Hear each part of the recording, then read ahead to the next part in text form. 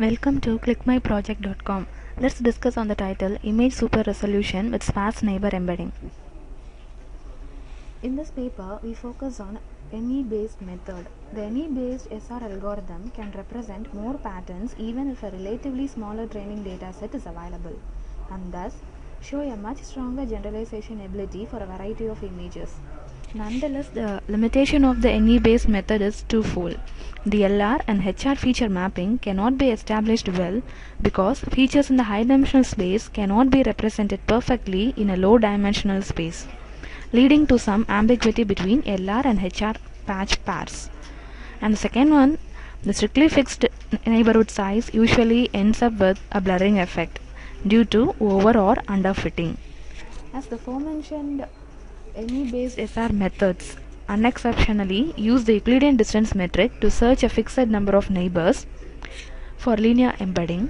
Due to blurring, downsampling, and noisy data, this simple tactic for neighbor selection cannot perform well for image super resolution problem because the neighbor search and the minimum reconstruction error are separated into two independent processes. Moreover, neighbor search is often manipulated within the whole training data set leading to a computationally intensive process. To reduce these problems and to further improve the NE based algorithm for SR reconstruction, we propose a sparse neighborhood based that is SPNE method that takes the following factors into account. The first factor is how can the required ca- candidates be searched to minimize the reconstruction error. And the second one, how can the computational cost suffered by the NE based algorithm be reduced effectively.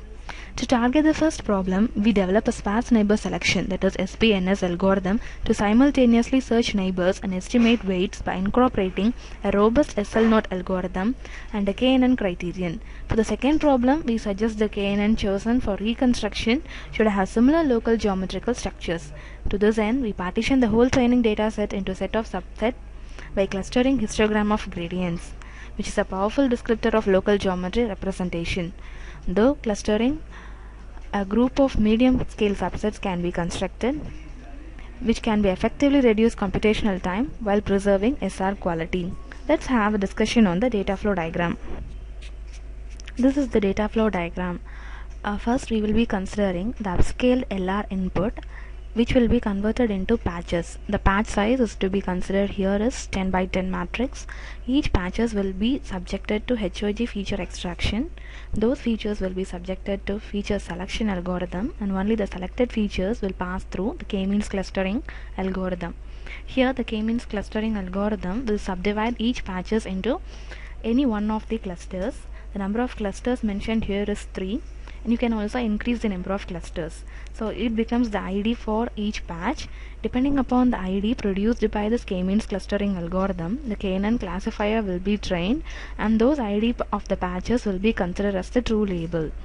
And this classifier output will be uh, subjected to the dimension reduced feature of the correct patch that is which patch you are taking to synthesize will be dimensionally reduced and then subjected to cluster identity then the patch which is to be synthesized will be subjected to SPNE algorithm and uh, this SPNE algorithm will synthesize the LR patch into HR patch. Like that for whole image this process will be repeated. And when you recombine the images you may expect some blurring effect. To overcome that a TV based deblurring algorithm will be implemented followed with iterative backpropagation procedure and finally you will be getting SR output. Now let's see the execution of the program. Regarding execution of the program, this testing file is the main file. Click this and press run file. As the program is being designed as an M file, first of all you will be getting a dialog box and this is your image data set. You can take any one of the images these are the training images.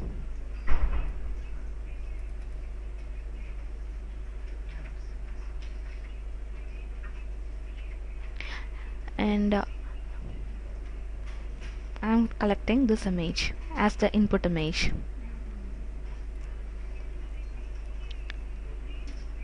So an LR image will be constructed and this is the path separation output the images will be splitted into 10 by 10 block.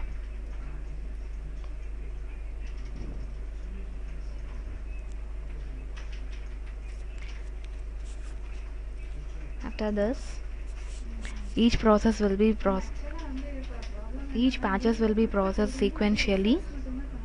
And uh,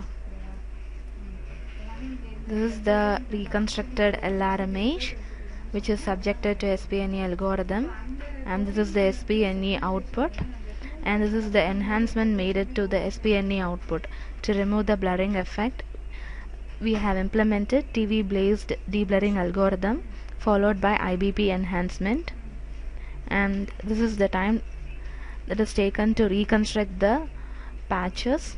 This is the PSNR value and this is the structural similarity index.